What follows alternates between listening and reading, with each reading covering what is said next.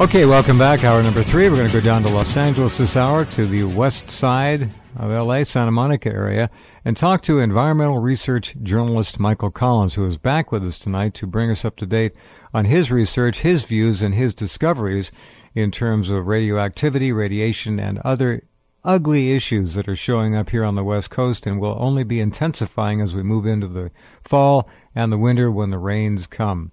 Michael, are you there? Yes, I am, Jeff. How are you? Really uh, doing as well as I can. Thank you very much. And I'm looking at your page right now, and for all of you who are not familiar with Michael's work, uh, he and his wife put a lot of effort into this site. It's a very interesting uh, message board as well.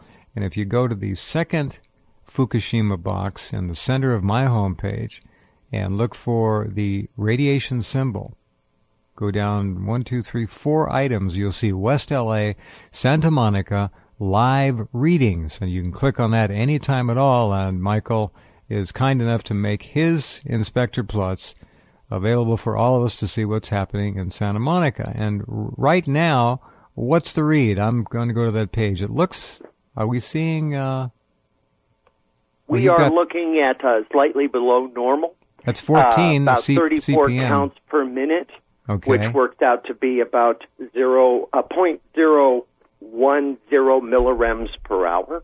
Okay. And uh, but what we do with this inspector, Jeff, is we also look at other things. Uh, that we started the radiation station so folks in Los Angeles would have an idea of the ambient radiation in the air. Mm-hmm. And as you've talked about on your show, uh, fallout from Fukushima uh, generally comes down in precipitation, in rain, snow, sleet, hail.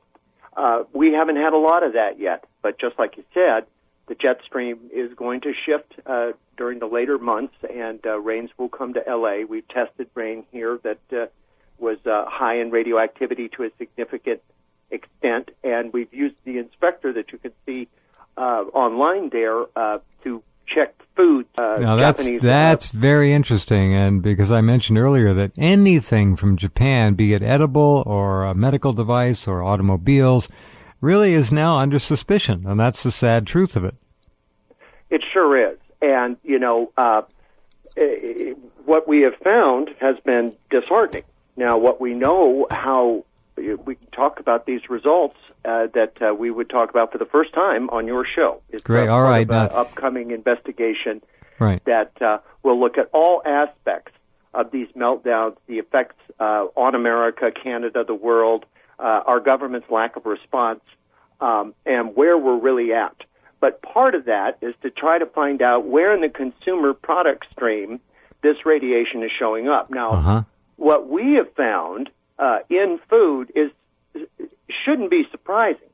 Uh, about a month after the meltdowns occurred, uh, Secretary of State Clinton uh, made a uh, not too publicized uh, agreement with the Japanese uh, to uh, allow Japanese food to continue to come into this country under normal inspection standards.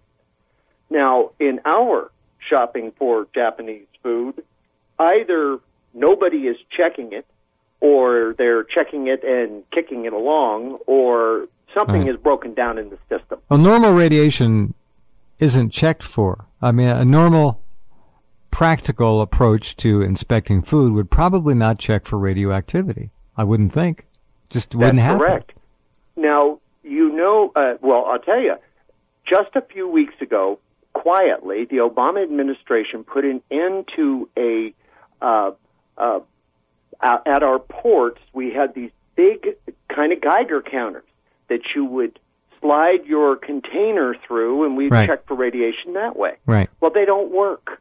They cost a lot, but they don't work. Well, really. So, so quietly, they ended that program and said, "We're going to hand everybody handheld Geiger counters." Now, you know how hard it is to get a Geiger counter right now, and you know how much food comes in. How realistic is that? Mhm. Well, it's not realistic at all. And the results we found in just the last week and just tonight uh, bear that out. For example, on August 24th, we got a very popular brand of uh, Japanese seaweed, and uh, buy it right here in LA.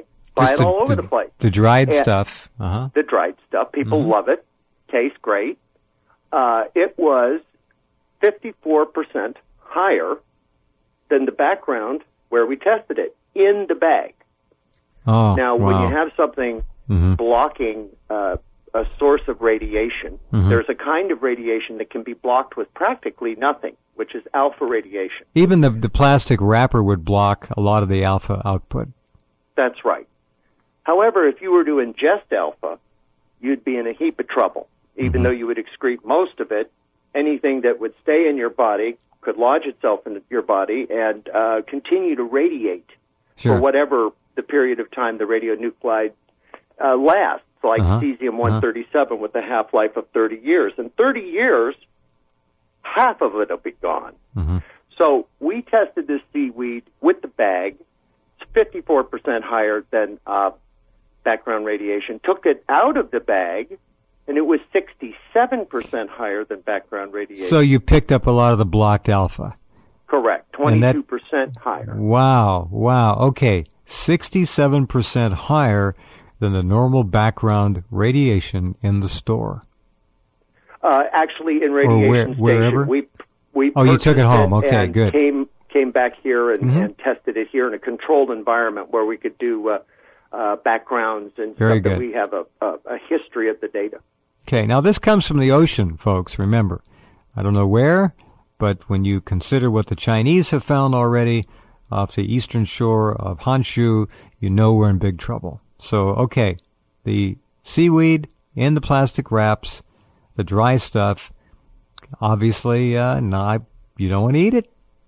Hey, you know, if you don't know what's in it, are you going to eat it? Are you going to just throw caution to the wind? Majority of Americans and Canadians have done that. I mean, it's not easy trying to Yeah. figure out what to eat.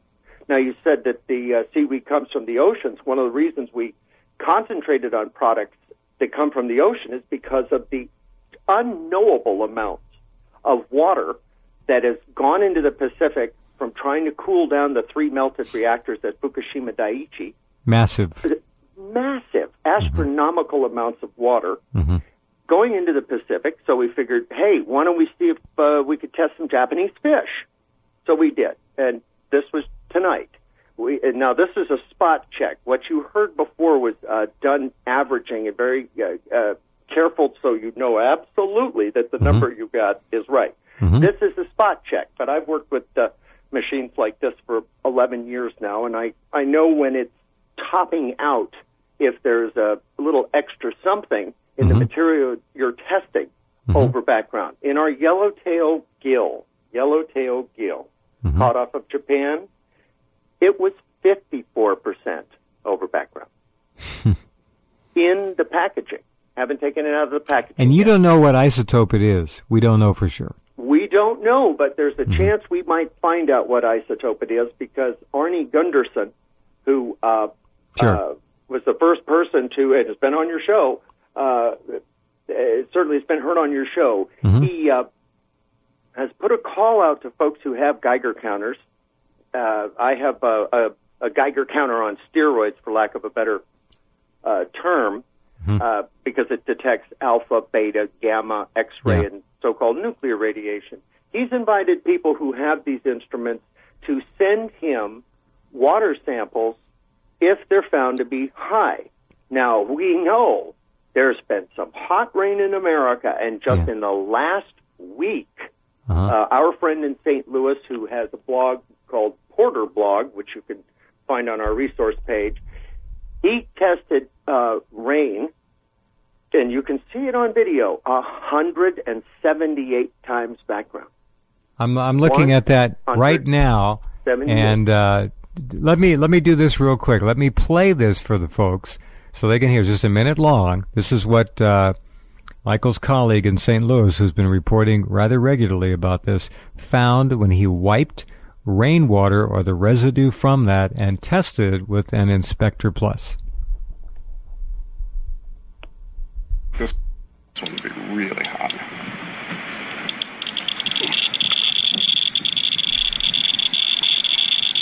Seventeen times background. Thirty-five times background. Fifty-two times background. Sixty-eight times background. Hottest rating we've so far. Eighty-six times background. Hundred times background. 120 times background, 140 times background, 150 times background, 175 times background. Okay, and it topped out at 178 times normal background radioactivity levels. 178 times in a simple rain. All right, point well taken.